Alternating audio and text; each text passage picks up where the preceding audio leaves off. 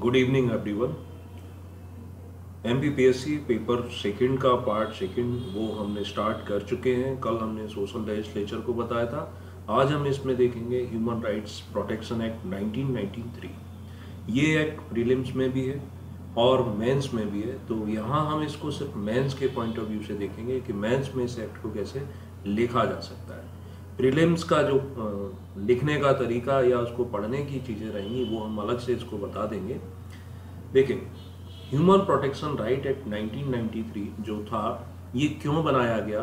तो ये बनाया गया मानव जाति को शोषण, अत्याचार, उत्पीड़न से संरक्षण प्रदान करने के लिए। इसका मीनिंग क्या होता है? ह्यूमन राइट्स की अगर हम बात करें, यहाँ तो एक्ट पूछा है, मानव अधिकार नहीं पूछे जा रहे हैं। लेकिन फिर भी हमें समझना है कि हम प्रोटेक्शन किसको देंगे? ह्यूमन राइट्स को देंगे। तो what is the human rights मानव अधिकारों से सामान्य आशय उन अधिकारों से है जो मानव के सम्मान और गरिमामय जीवन जीने के लिए आवश्यक होते हैं। मानव अधिकारों से अभिप्राय, मौलिक अधिकारों एवं स्वतंत्रता से है, जिसके सभी मानव प्राणी हकदार हैं। अधिकारों एवं स्वतंत्रताओं के उदाहरण के रूप में जिनकी गणना की जाती है, उनमें नागरिक और राजनीतिक दोनों प्रकार के अधिकार सम्मिलित होते हैं। जैसे फॉर एग्ज़ाम्पल हम यहाँ पर लिख सकते हैं कि जीवन और आज़ाद रहने का अधिकार, अभिव्यक्ति की स्वतंत्रता का अधिकार, कानून के समक्ष समता का अधिकार, आर्थिक, सामाजिक और सांस्कृतिक अधिकारों के साथ साथ सांस्कृतिक गतिविधियों में भाग लेने का अधिकार, भोजन का अधिकार, काम करने का अधिकार, शिक्षा का अधिकार, ये सारे अधिकार क्या हैं? मानव अधिकार।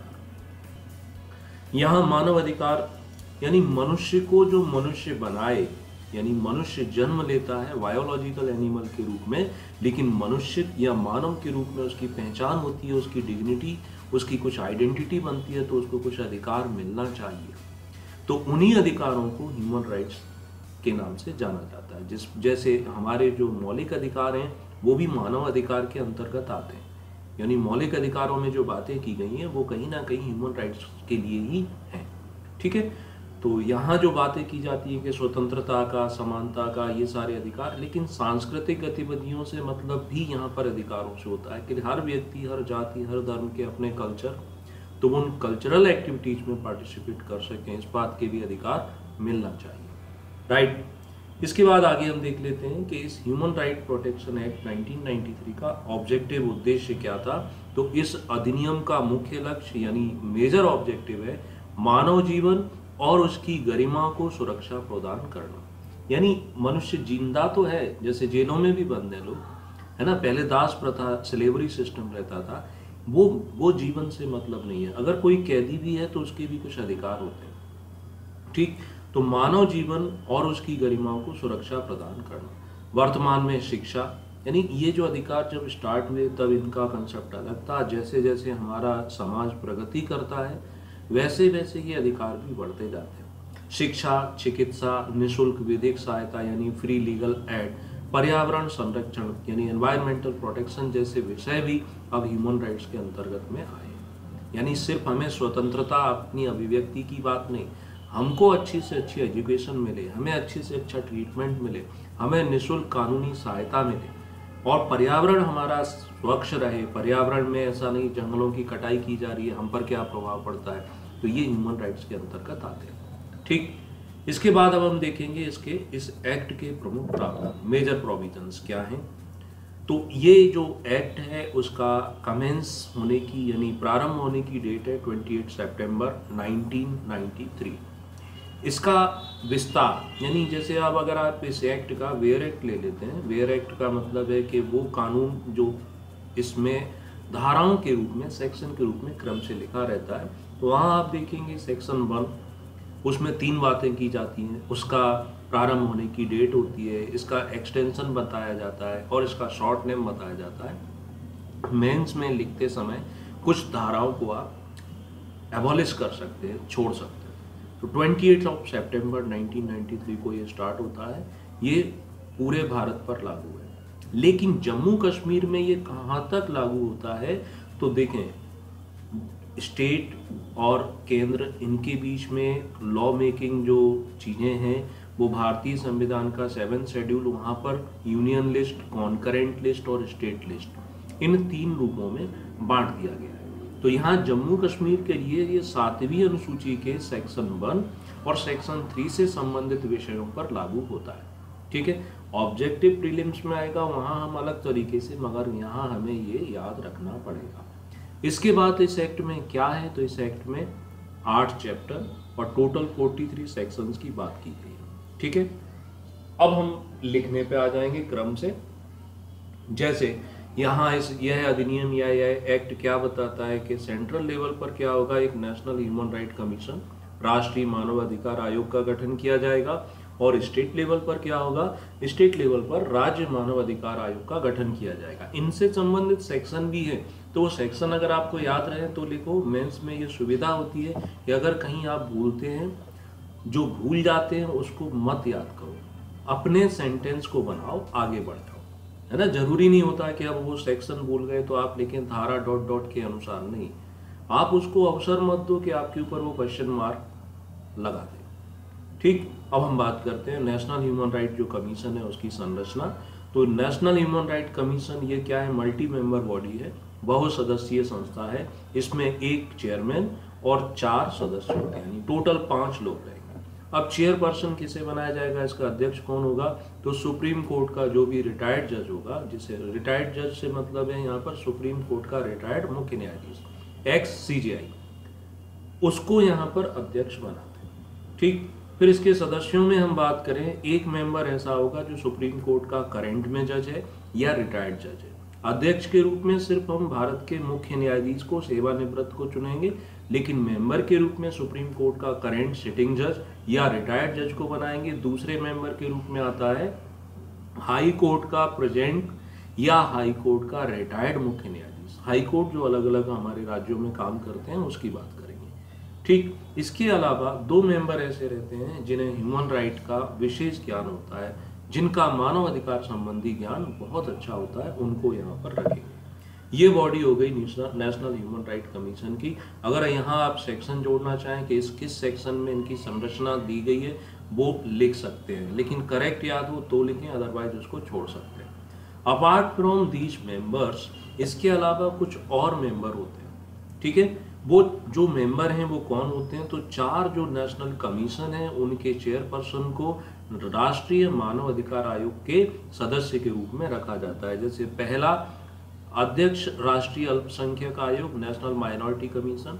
दूसरा अध्यक्ष राष्ट्रीय अनुसूचित जाति आयोग, यानी इसका chairperson national commission for schedule caste, और ऐसे ही chairperson national commission for schedule tribe, और राष्ट्रीय महिला आयोग की जो अध्यक्षा होंगी, वो भी इसकी मेंबर होंगी। तो ये तो हो गया इसका राष्ट्रीय मानव अधिकार आयोग का संरचना राइट इसके बाद अब हम यहीं पर राज्य मानवाधिकार आयोग की भी संरचना को लिख देंगे प्रीलिम्स में क्या है? आप अगर वेयर एक्ट उठाएँगे तो पहले नेशनल ह्यूमन राइट कमीशन उनकी बातें की जाती है, उनके अधिकार शक्तियों का वर्णन है। देन अगले चैप्टर में फिर आता है स्टेट ह्यूमन राइट कमीशन लेकिन जब हमसे मेंस में पूछा जाएगा तो हम दोनों आयोग को कंपाइल करके एक साथ समझा दें तो स्टेट ह्यूमन राइट कमीशन की जो संरचना है, वो इस प्रकार से रहेगी। इसमें एक अध्यक्ष होता है। अध्यक्ष किसको बनाएँगे? तो हाई कोर्ट का जो भी मुख्य न्यायाधीश रहा हो, ऐसे व्यक्ति को अध्यक्ष बनाएँगे। फॉर एग्ज़ाम्पल अगर मध्य प्रदेश का राज्य मानव अधिकार आयोग है तो मध्य प्रदेश का कोई भी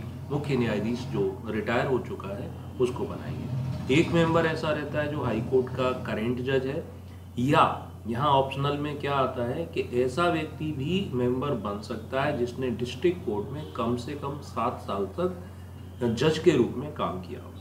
यानी दूसरे मेंबर के लिए कंडीशन हो जाती है हाई कोर्ट का जज अथवा सेवन ईयर तक उसने डिस्ट्रिक्ट कोर्ट के जज के रूप में काम किया है, वो एलिजिबल हो जाएगा।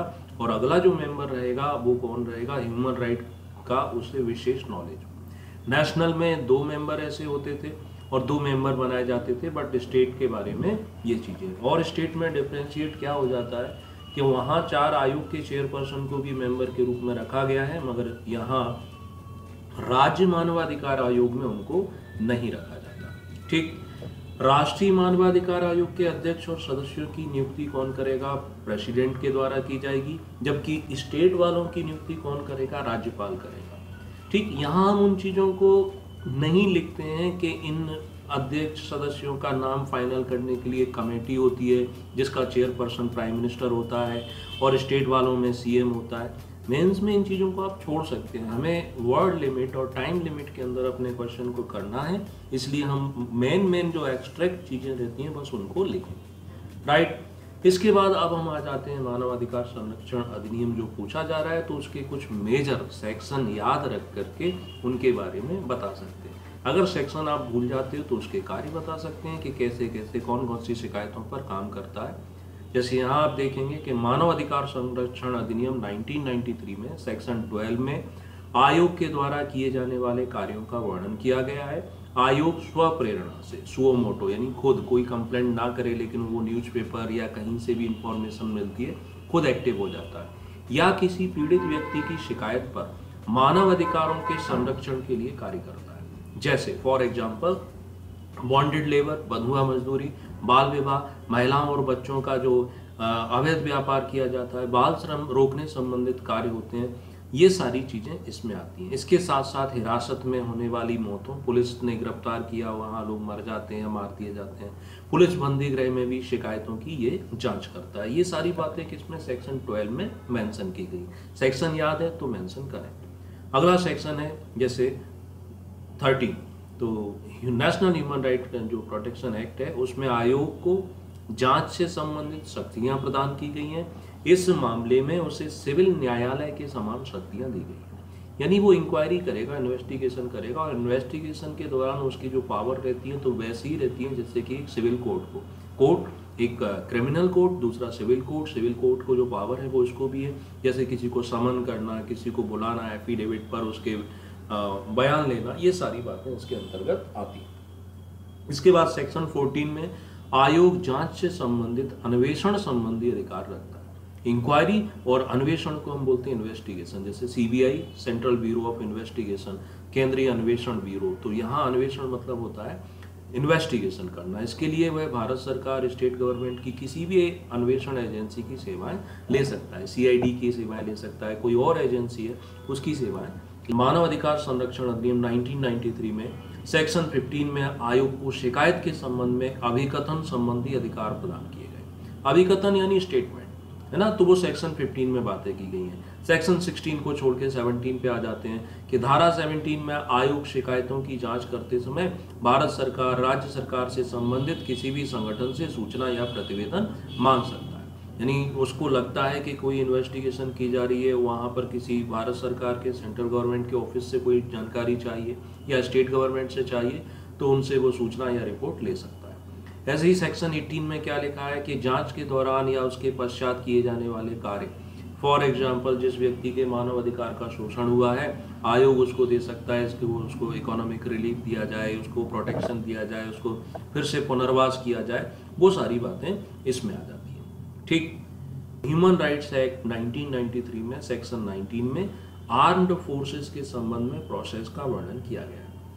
वो प्रोसेस क्या है? आप यहाँ मेंशन कर सकते हैं, बिल्कुल, लेकिन फिर क्या होता है, हमारा आंसर वर्ड लिमिट को क्रॉस करेगा। जैसे प्रोसेस कि वो एक प्रतिवेदन माँगता है, उस पर सरकार ने क्या कार्यवाही की है, वो सारी बातें आती हैं। ठीक, अगला सेक्शन यहाँ पर क्या लिख दिया? थर्टी पे आ जाते, बीच के फिर सेक्शनों को हटा दिया। तो थर्टी में मानव अधिकार न्यायालय के गठन संबंधी प्रावधान, यानी एक ह्यूमन राइट्स कोर्ट भी बनेगा। ये कोर्ट क्यों बनाया जाता है? फॉर स्पीडी ट्रायल जल्दी से जल्दी मुकदमों की सुनवाई हो सके। प्रत्येक ज़िले में सेशन कोर्ट को ही क्या बना सकते हैं? ह्यूमन राइट कोर्ट के रूप में बनाया जा सकता है। वो बातें यहाँ पर की गई हैं। ये सारा हमारे नोट्स का स्क्रीनशॉट है। मानव अधिकार संरक्षण अधिनियम 1993 में सेक्शन 31 में विशिष्ट लोक अभियोजक यानी स्पेशल पब्लिक प्रोसिक्यूटर एक प्रकार से सरकारी वकील की नियुक्ति संबंधी प्रावधान है। वहाँ आप डिटेल में पढ़ेंगे कि ऐसे व्यक्ति को जिसने सात साल तक प्रैक्टिस की हो है ना? किसी कोर्ट में उसे बनाया जा सकता है। तो वो सारी चीज़ें इसमें मेंशन कर दी। इसके इसके बाद मानव अधिकार संरक्षण अधिनियम में जो सेक्शन 32 है, उसमें क्या किया जा रहा है? उसमें केंद्र सरकार के द्वारा जो सब्सिडी अनुदान दिया जाता है, उसका उल्लेख किया गया है। सेक्शन 33 में राज्य सरकार के द्वारा जो सब्सिडी दी जाती है, उसकी बातें की गई हैं। है ना? सेक्शन 34 और 35 में क्या इसका ऑडिट यानी लेखा और लेखा परीक्षा संबंधी प्रोविज़न है। तो ये सारे सेक्शन को हमने एक ही पॉइंट में लिख दिया। ये मेंस में कुछ फैसिलिटी मिल जाती है कि आपको ज़रूरी नहीं है हर पॉइंट अलग अलग बनाए। एक पैराग्राफ के फॉर्म में जो मेन मेन तथ्य थे उनको लिख देते हैं। अगला आता है कि ह्यूमन प्रोटेक्शन राइट एक्ट 1993 में सेक्शन 36 में उन मामलों का वर्णन है जो आयोग की अधिकारिता से बाहर रखे गए हैं, जबकि सेक्शन 37 में विशेष अन्वेषण दल के गठन संबंधी प्रावधान किए गए राइट इसके बाद मानव अधिकार संरक्षण अधिनियम का धारा जो 38 है, उसमें भारत सरकार, राज्य सरकार, आयोग के द्वारा सद्भाव में की गई कार्यवाही के लिए संरक्षण प्रदान किया गया इसके अलावा धारा जो 40 है, उसमें क्या बातें की गई हैं? फोर्टी में कहा गया है कि भारत सरकार जो ह्यूमन राइट्स प्रोटेक्शन एक्ट इसके संबंध में रूल बना सकती है और जो भी नियम बनाएगी, उसको वो क्या करेगी? उसको संसद में रखना पड़ेगा। पार्लियामेंट के एक ही सेशन में उन पर पास करना ज़रूरी है। उसके बाद सेक्शन 41 में राज्य सरकार के द्वारा नियम बनाने संबंधी प्रावधान किए गए हैं। और लास्ट में ये हमारा हो जाता है कंक्लूजन कि राष्ट्रीय मानवाधिकार संरक्षण अधिनियम संयुक्त राष्ट्र मानवाधिकार घोषणा पत्र के अनुरूप बनाया गया है। लेकिन जागरूकता की कमी, संसाधनों के अभाव के कारण इसके वांछित लाभ पूरी तरह से प्राप्त नहीं हुए।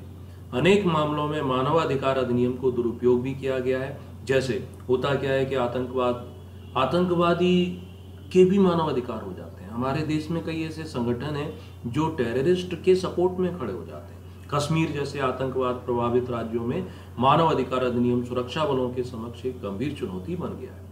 जिससे देश की सुरक्षा को भी खतरा उत्पन्न हो रहा है। इन कमियों के उपरांत भी इनके अनेक स्तरों पर सराहनीय कार्य किया है, जिसमें और अधिक सुधार की आवश्यकता है। तो ऐसे करके हम एक इसका निष्कर्ष लिख सकते हैं। निष्कर्ष आप अपने तरीके से भी लिख सकते हैं। तो ये ह्यूमन राइट्स एक्ट कंप्लीट होता है। इसके आगे अगले लेक्चर में अगले एक्ट को कंप्लीट